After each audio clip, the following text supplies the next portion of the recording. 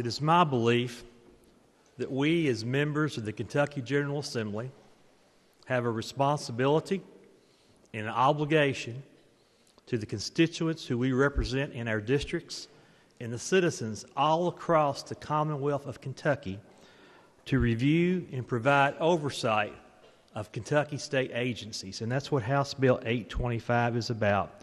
It would direct the Office of Auditor of Public Accounts to conduct a special examination of the Kentucky Department of Education, which would include the Kentucky School for the Blind, the Kentucky School for the Deaf, and the department operated area technology centers, and shall assess the extent to which the department complies with statutory mandates and requirements.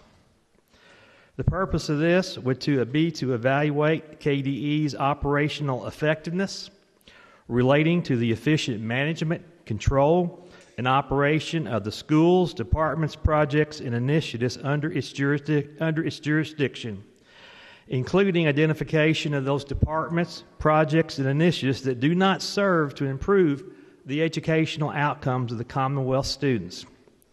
It will also identify an, any area of operation demonstrating a significant lack of efficiency and effectiveness.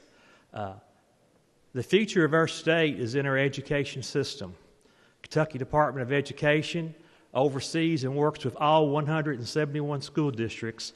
Uh, we, they are audited financially, but this is a programic review, a special examination to make sure that they are doing the job that we, we ask them to do for laws and statutes. It's my hope that this special examination will highlight the programs and operations that KDE is doing well, but also it's my hope and intent that if there are areas that need to be improved, that it will be highlighted as well.